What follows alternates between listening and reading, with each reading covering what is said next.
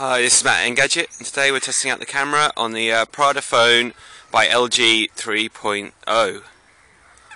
It's a bit chilly in London today, so the lake's actually frozen.